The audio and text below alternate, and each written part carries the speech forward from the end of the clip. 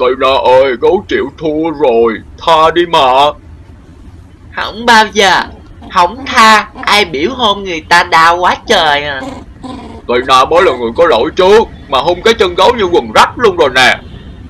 Chưa đâu Phải rách thêm mấy chỗ khác nữa mới đẹp Cho thấy hết trơn luôn Tha cho gấu đi mà.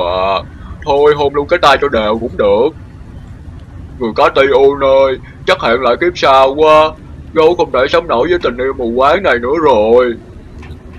Vậy cho anh gấu hôn lại nè Huề nhé Được chưa nà Trời ơi, không hôn cũng chết, mà hôn cũng chết. Thôi chia tay sớm bớt đau khổ đi.